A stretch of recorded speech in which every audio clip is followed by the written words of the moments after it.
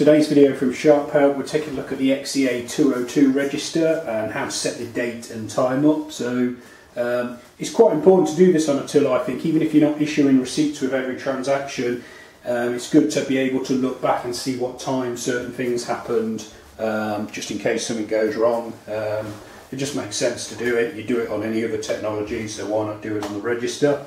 This, what I do now, will also apply on the 301, which is from the same range as the 202, and actually the 212 as well, though the keyboard's slightly different on the 212, but the process should be very similar.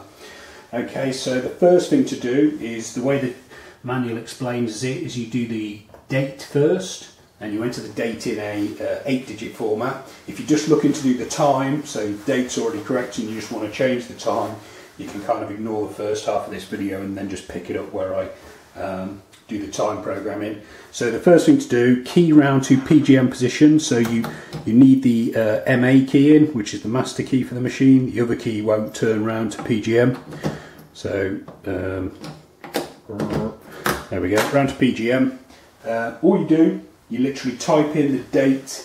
I'm in the UK here, so it's the way we work is day month, year, which does seem the most logical to me because the year changes the least, so you have that at the end. The month changes the second least. It's the day that changes all the time, so why would you have it any other way? But anyway, that's just that's just us Brits. So the date today is uh, where are we? It's the 29th of May 2020. Um, so 29 for the day, month May 05, year 2020 then you press the hash TMST button, marked hash TMST, or if someone's programmed this already, it might they might have called it subtotal. That's what the ST stands for.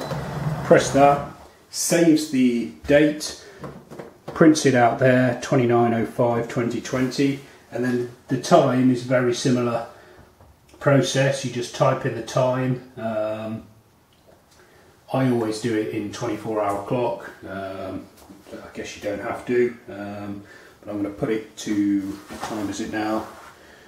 Time here is 1356, so 1356, and then again you press that subtotal button here, saves it again, and you get a printout confirming it, so you can now turn the key back round to reg. What should happen is if, you, if you've done it, once you've set the time up, if you ever want to check the time, um, everyone will look at their phone these days, but these tills are still quite old fashioned. So you can turn the key round to that XZ position and it comes up with a time there. So that's a way of checking you've done it correctly.